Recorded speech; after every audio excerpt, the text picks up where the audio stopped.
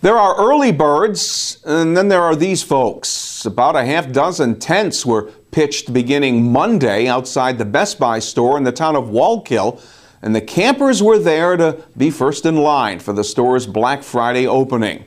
Brendan Romero of Newburgh was in line to get deals on TVs, laptops, and tablets.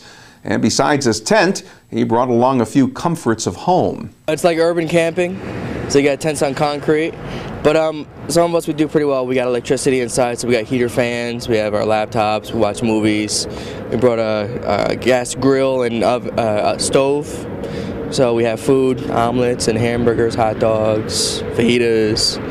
So we eat good. Brendan and fellow camper Jeffrey White of Milford, PA have struck up a friendship as they and the others have made the store campout a yearly pre-Thanksgiving tradition.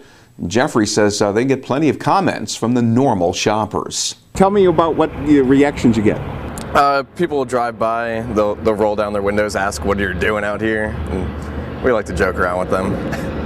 Uh, some, some people will take our pictures, like not like news people, but just standard people will come out and photo us.